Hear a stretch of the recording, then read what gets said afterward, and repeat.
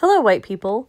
There's absolutely no reason to stock up on cash amid the beer flu crisis, experts say.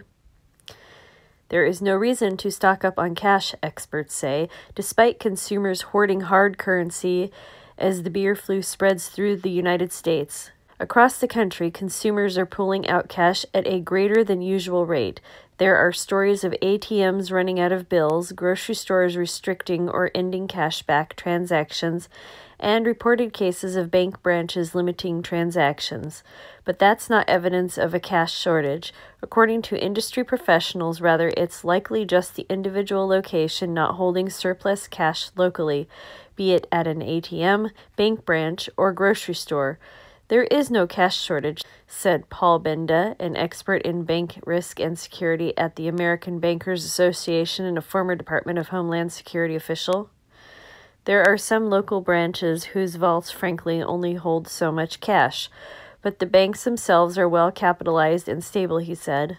Little impact. The Federal Reserve, which distributes cash to banks through its FedCash service, said it has not experienced pronounced spikes in demand and has had no difficulty meeting demand for cash, according to a spokeswoman. A primal reaction to any global stress, some consumers prefer to withdraw large sums of cash when panicked in case of emergency. But that rationale is flawed, much like the rationale to stock up on toilet paper, as there has been no indication that the banking sector is in danger of major disruption from the beer flu or that credit card networks are going to change. Rather, we don't expect to see any impact at all on cash usage, one way or the other, according to David Tent, an executive director at the ATM Industry Association. Neither Bank of America nor Wells Fargo, the two mega banks with a major presence in Charlotte, have restricted how much cash you can take out. Wells Fargo has not put in place any new limits on cash withdrawals.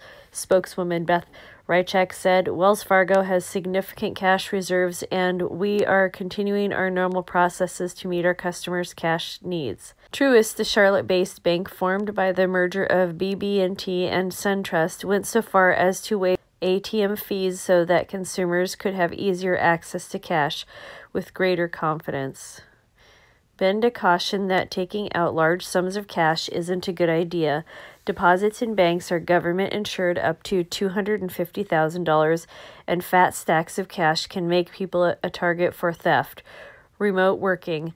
Banks across the country are taking measures to ensure that they keep operating safely and with as little disruption in the financial system as possible. Many, including Wells Fargo, Bank of America, and Truist, are expanding work from home programs for the jobs that can be done remotely. Like grocery stores and pharmacies, banks are generally considered essential services by officials, and there are detailed plans in place for how to handle pandemics. Federal regulators examine those plans as a part of the institution's broader business continuity strategy. Banks need to prepare for all the ways a pandemic can affect a financial institution, from the stress put on company networks from increased teleworking to maintaining core functions as more employees take time off according to federal guidance. As the beer flu spreads, those plans will be tested. A critical juncture is the branch.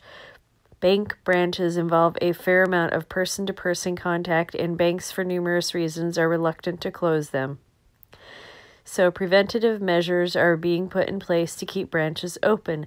Truist, for example, has beefed up the cleaning of its thousands of branches which still go under the names of BB&T or SunTrust. Others are distributing more hand sanitizer and gloves.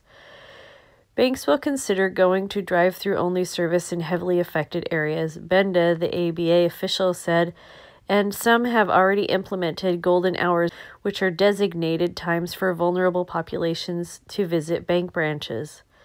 This is a war. We're in a war to contain this virus. Bank of America CEO Brian Moynihan said on CBS's Face the Nation on Sunday. It's always a good idea to have a whole bunch of cash in hand just in case the banks go under because you won't be able to get your money out. If you guys have been following me, you know that I do not trust the government and I do not trust the media. I have heard that some people are concerned that the banks won't give cash or that businesses won't accept cash because cash is considered dirty. You know, that's like a Hegelian dialectic trying to put these suggestions in our head that we don't need cash. Right now, it looks like the United States runs on about 30% cash, which surprised me because I thought a lot fewer people were using cash. Cash is king, and silver has dropped down to $12 an ounce. Yeah, can you believe that? $12 an ounce? Maybe it'll go down to $5 an ounce like it did, oh, what was that, 2009 or something like that? All right, white people, that's the damage for today. Thank you so much for listening. I look forward to your thoughts below.